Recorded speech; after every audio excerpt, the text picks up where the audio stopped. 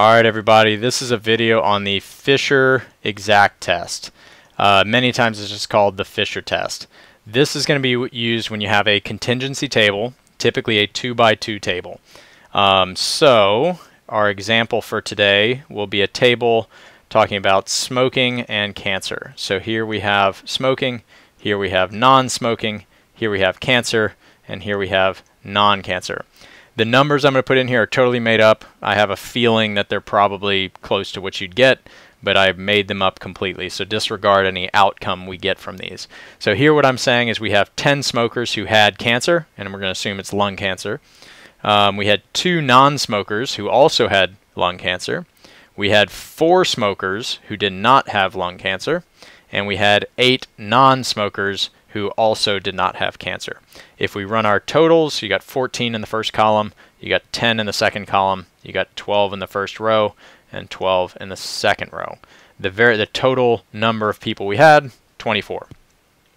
So what this Fisher test is going to do is answer the question of how likely were we to get this extreme of an out outcome or more extreme. So the idea being if there's no relationship between smoking and non-smoking, these numbers would be relatively equal for the cancers. So maybe 6 and 6 or something like that. Um, for non-cancer, non it'd be also about 6 and 6. Whereas clearly you can see there's some discrepancy there. You got more smokers who have cancer, less non-smokers who have cancer, and vice versa. So the, the formula for the Fisher test is fairly ridiculous looking, but it's going to be row 1 factorial times row 2 factorial times column 1 factorial times column 2 factorial. That's the numerator. In the denominator, you're going to have the total number of participants, factorial, uh, multiplied by a factorial, where a is a cell. It's in fact cell 1, 1. Uh, B is the cell here, C is the cell here, and D is the cell here. And they're going to have a factorial, B factorial, C factorial, and D factorial. So this is your formula. From a formula standpoint, I think this is a pretty cool looking, neat um, formula. The fact that it can all be fit into all these nice factori factorials, everything looks great. But from the outside, outside of the actual formula, it looks a little ridiculous. So what I want to explain is what this is actually telling you. So if we move down a little bit here, what you're trying to figure out is how many ways can you get cell A from column 1. So how many ways can you kind of um, mash these, how many combinations can you put together with these 14 people that make it where you have 10 people being in the cancerous position? Multiplied by how many ways can you take cell B out of the second column, meaning how many ways can you get two people that also had cancer from this second column, and you're going to divide that or compare that outcome to how many ways can you get row 1, which is the cancerous row, out of your total number. So basically you're trying to figure out how many how many ways can you get this exact value where you have 10 smokers who got cancer, 2 non-smokers who got cancer versus the total number of ways that you could essentially get 12 total people regardless of smoking um, uh, preference out of the total 24. Okay? So this is going to break down into what these um, combinations are actually telling you. Uh, so if we look at this first one here, it's C1, and I'm going to write, I'm, we're going to give ourselves some space here, C1 over A. Okay, so just looking at our numbers, we have 10 in A, and we have 14 in the total column. The formula for a combination is going to be the top number here, so C1 factorial, over a factorial times c1 minus a factorial. So basically, um, how many ways can you get c1 and you're kind of in a way controlling for um, cell A at the bottom and cell C at the bottom. And I have another video kind of diving into that. So if we look at this, C1 is again, column 1 is 14, will look like this. C1 factorial is going to be 14 times 13 times 12 times 11 times 10 times 9 times 8 times 7 times 6 times 5 times 4 times 3 times 2 times 1. Okay, that's a, let me draw a straighter line there. There we go. And then you're going to have a factorial, and I'm going to line them up, where a is, looking at our table, 10.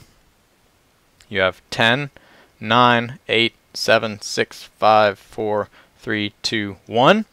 And if you look closely, the next number in this denominator is C1 minus A. Well, column 1 minus A, 14 minus 10 is 4. That's C. So what I'm going to do is actually just cancel that out. And we're going to write C factorial right there, okay? And I'm going to put that over here just to kind of save space. So C factorial is 4, 3, 2, 1. 4 times 3 times 2 times 1, okay? Well, very easily we can cancel out these 10 through 1s.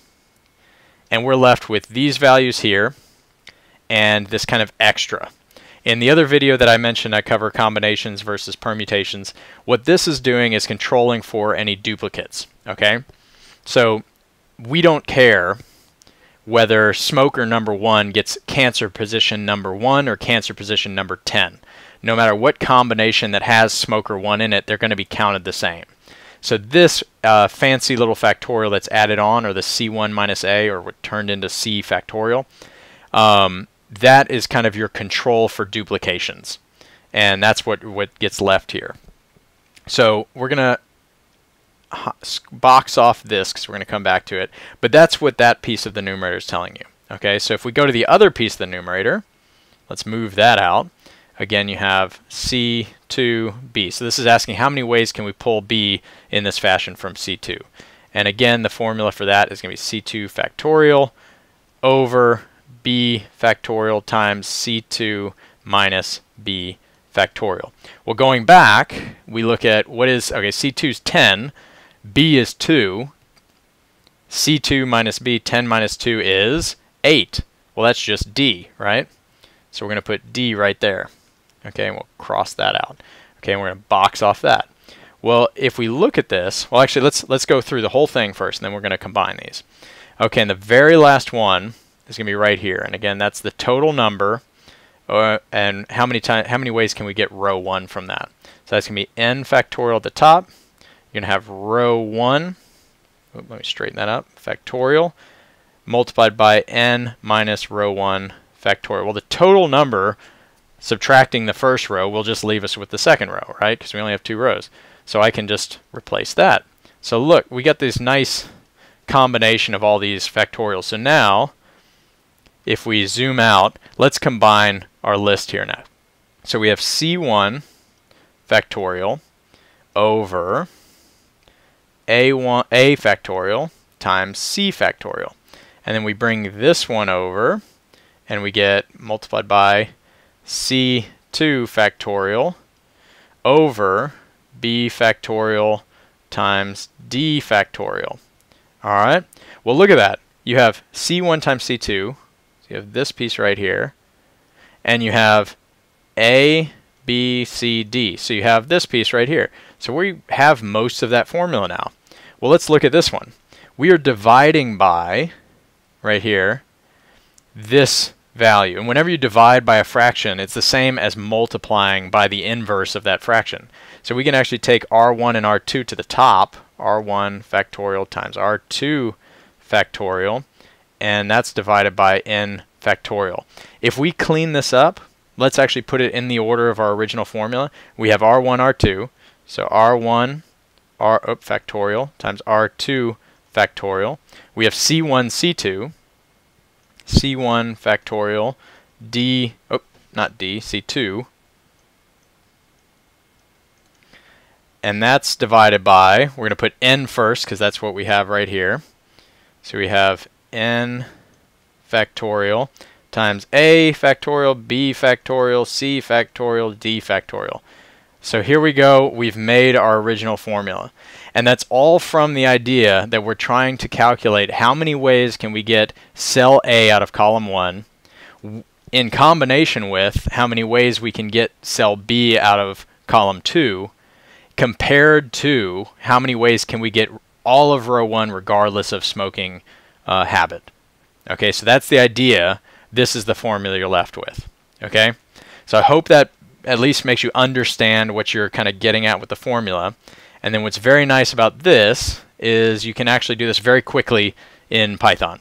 Okay, so what we have within the SciPy library, there's a module called stats, And we're going to import stats from SciPy, so you can just write it in that fashion. We're also going to import NumPy, and when you write as uh, something, it just replaces anytime I put NP with NumPy. So, because and then we're importing that because we want an NP array, a NumPy array. So I'm going to go ahead and import that. And then here, this text is just kind of explaining what this table is it means. Column 1 is going to be your smoking column. Column 2 is going to be your non-smoking column. Row 1 is your cancer problem uh, column, excuse me, and row 2 is your non-cancer uh, row.